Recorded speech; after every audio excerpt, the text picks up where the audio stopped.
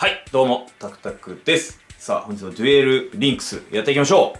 えー本日はですね、タイマー、えー、ステージ21に私いるのですが、ユギがレベル25ということで、えー今日は何を紹介していきたいかというと、周回、このステージで周回している、えーデッキを紹介したいなと思っておりまして、えなんで周回する必要なんかあるんだよというね、方もいっぱいいるんじゃないかなと思うんですけど、まあ、例えばですね、こういった必要なアイテム、海馬と戦いたいといった時にですね、こういうキーが必要なんですよ。ゲートキーが。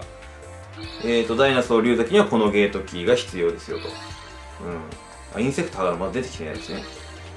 えっ、と、杏子はこの鍵が必要というように、この鍵は、えーこちらのデュエルワールド、デュエルワールドいいだけ？こちらで戦わないともらえないんですよ。なので、その鍵をいっぱい集めたいとか、あとは、えーこっちの、ショップかな？ショップの前にいるこのおじさんね。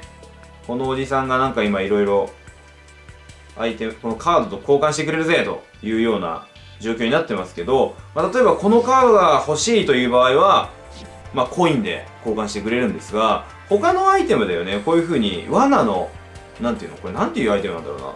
罠の丸が、丸のやつね。名前ちょっとこれ教えてくださいコメントで。はい。これ3つないといけないとかね。うん。あとはまあ例えばこれ闇のあこれはこういけるね。これはいけますね。マリー。まあいいや。ちょっと置いとこう。もうこれは交換できるんですけど。こういうのがないと交換できんぞということで、えーよりね多く集めたい早く集めたいっていう時のね編成を今回紹介したいなと思いますので。はい。えこれはあくまで現段階の私が高速で周回できる編成というだけであってカードが揃ってきたらもっとデッキを入れ替えていきたいと思います。はい。デッキがこんな感じになってます。えー、羽羽に、えー死の四つ星テントウが2枚。でアックスレーダーは1枚しかないので1枚。できれば3枚入れたい。ジャッジマンは2体。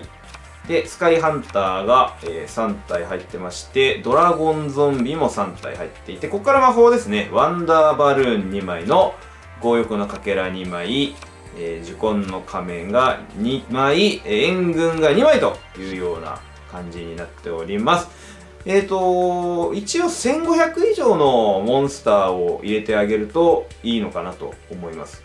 で、一番重要なのがこの辺のワンダーバルーンとか、あとは援軍とかですね。この辺で、え相手に攻撃された時だったり、えー、と攻撃力を落としてやって攻撃されないとか、そういう環境を作りたいので、まあ、この辺ですね。を使って、え高速で私は回っております。さあじゃあ高速高速って言いますけど、どれだけなものなのかというのをちょっと皆さんにご覧いただきたいと思います。じゃあ、えーこの明るいお姉さんとちょっと戦ってみましょうか。はい。デュエルでただ必ず必ず勝てるという約束はちょっとできないです。なぜならあのカードゲームには事故るっていう場合があるので。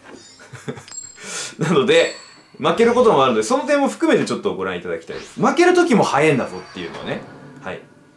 でそのまず重要なやり方なんですけどあスキルはねバランスをセットしてた方がいい僕はおすすめですね。あどうかな？はい。まずこうデュエル。開始早々。右上をご覧ください。オート操作を。はいタップはい。あとはですねスマホをこういう感じでこれです。2本の指でこうチロチロチロチロってやってください。チロチロチロ。チロチロチロってやってください。そうするとあっという間にデュエルが進んでいきます。今どんな状態になってるの？ちなみに。おどうなの？もう終わるもう終わりそうね。何秒だろう？これ何秒ぐらい？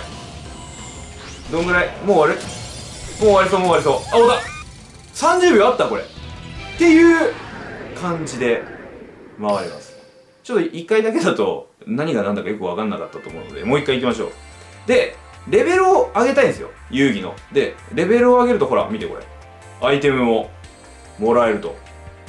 かもらえるカードもねほら死のマジックボックスとかありますので、まあ、これどんどん解放されていくのかな今後。レベル30以上おそらくアップデートのたびに増えていったりとかそういうこともあるかもしれませんがねこういうのを期待したいとき、えーしたいと思います。カードももらえるんですよね。これぐらいのになってくると。うん。ほら罠の。罠のねおなこれななんていうアイテム？罠の石！コメント入れなくてもいいよ。罠の石。入れてくれた人ありがとう。罠の石だ。そう石も集めやすいから、はい、こういう感じでやっていきます。さあまあどこでもいいんですけどできればね、あの、レジェンドデュエリストとは戦わない方がいいです。結構特殊なデッキでこれで突破できない率は高いので、こういう一般の方をね、一般の方っていうと人聞きが悪いですけど、で、狙っていった方がいいですよ。はい。さあ、行きましょう。もう同じやり方でいきます。同じやり方で。えっ、ー、と、俺の説明が長いだけであって、そんなに、ね、長い動画でもないはずなんですよ。はいこうこう見ない画面はもう見なくていいっすぶっちゃけただどう回ってんのかなっていうのをねやっぱこう集中して見たい人はねやっぱ見てた方がいいですけどあんま見る必要もないっていうイメージではありますねはいジャッジマンがやっぱりね生贄を一体で召喚できるっていうのがいいんですよね生贄って今言わないのかもしれませんけどもうすぐ終わりますねこれ何秒なんだろうな？ちょっと動画編集の時に測りてえな。30秒かかってないかもしれないですね。どうなんだろう？うん。なんかよくわかんないまま終わりましたけど。はい。ここ 何も何もここに関しては説明をしなくていいです。このデッキを組めばこれぐらいのえっ、ー、とステージではステージ帯では、えー、容易にクリアできるというだけのことですね。でもこの方法は結構その下のランクのステージでも割と楽にできますので1500のモンスターがいるのであればあとは罠で罠とかがね結構魔法とかが充実しているのであればこの方法で高速周回するっていうのも一つ手段かもしれません。はい。まあ、なのでこのデッキの今もう一回デッキレシピの方に戻りますけどデッキで一番重要なのは相手がまずどんなこのステージはどんな敵が出てくるのかなとどんなカードを出してくるんだっていうのをまずリサーチする。で大体ですね1500を超えるモンスターっていうのは、えー、あまり出してこないんですよ1ターン目に。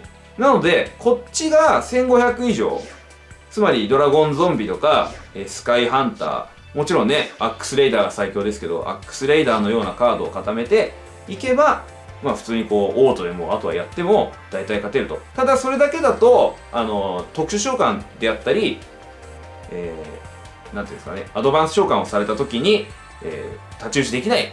当然儀式もそうだし融合もそうですし太刀打ちできない場があるのでそういった場合の、えー、救済としてワンダーバルーンと、えー、援軍が入っています。勝手にオートでも使ってくれます。そして攻撃させないっていうね呪魂の仮面まで入ってます。これはね、えー、かなり有効です。結局強いモンスターいてもあの500ポイント毎回削ってくれてだいたい8ターンあれば必ず勝てるっていうね。はい。8ターンもかかること多分ないような気もしますけど。で、えー、泥強化に強欲のかけらが入っているというような感じになっております。はい、えー、まあどうなんでしょうね。すごい経験値を集めたい。石が欲しい。鍵をくれっていう人はぜひこのデッキを真似てくれると嬉しいです。あと皆様からのデッキレシピも募集中ですのでぜひコメントの方に書き込んでくれると嬉しいです。はい。それではまた、え、最後最後で噛みましたけど。それでは、えー、次の動画でお会いしましょう。バイバイ。次はねカードをコンプリートしたい。ご視聴いただきありがとうございます。まだチャンネル登録をしていない人はぜひチャンネル登録よろしくお願いします。そして隣にいるコータチャンネル。こうちゃんのチャンネルも動画説明欄にありますのでそちらからチャンネル登録よろしくお願いします。よろしくお願いいたします。それではまたお会いしましょう。バイバイ